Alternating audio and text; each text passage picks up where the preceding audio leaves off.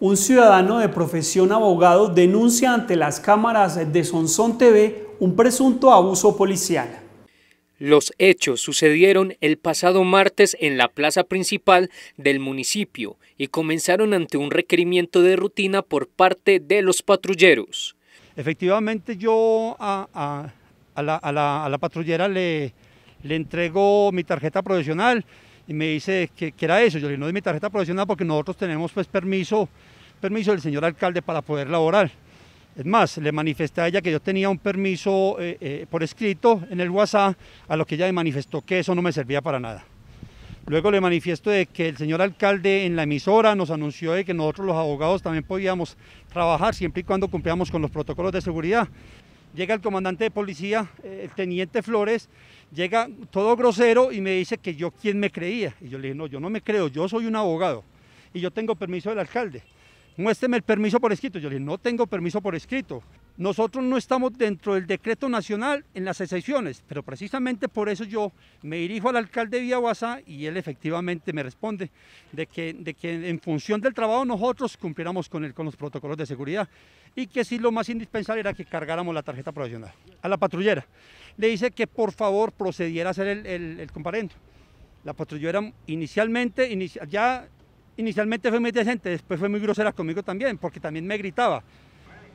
La señora procedió a hacer el, el, comparendo, me lo entregó, me dijo, ¿usted lo va a apelar? Yo le por supuesto que lo voy a apelar. Pero es que precisamente los abogados no solamente son para quedarnos quietecitos, los abogados es para contradecir los, actos administrativos que, estén en contravía de la, de la norma.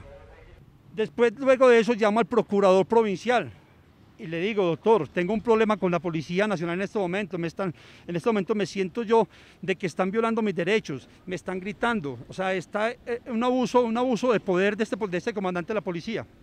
Pero ¿cómo quieren, señores policías, señores agentes, agentes de policía, de que la comunidad los quieren cuando ustedes están ultrajando a la misma población? Es que eh, una de las funciones de la Policía Nacional, le decía yo, la función de la Policía Nacional es controlar el orden público, no enfrentarse con la comunidad.